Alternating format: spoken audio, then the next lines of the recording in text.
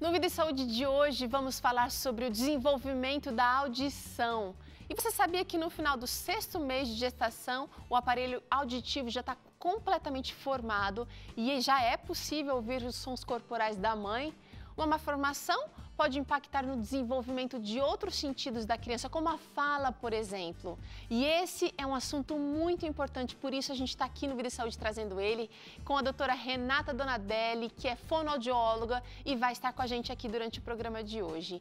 E ainda você vai receber aqui, você vai perceber que é possível arrumar uma mesa bonita ah, com as coisas que você tem aí em casa ou investindo um pouquinho, mas como é que a gente pode montar uma mesa bonita para receber a nossa família?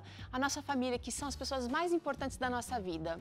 E ainda, Douglas Ponheim vai trazer aqui receita, ele não vai cantar aqui não, mas vai ensinar essa receita de cookie vegano de manteiga de amendoim e chocolate chips. Olha que delícia! Isso sim é vida e saúde só começando. Eu quero que você fique aqui comigo e aprenda como é que você pode levar também uma vida mais saudável.